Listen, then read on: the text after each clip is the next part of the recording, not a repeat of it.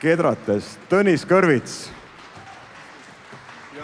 ma tean, et Tõnis Kõrvits on siin saalis. Tõnis, palun tule korraks siia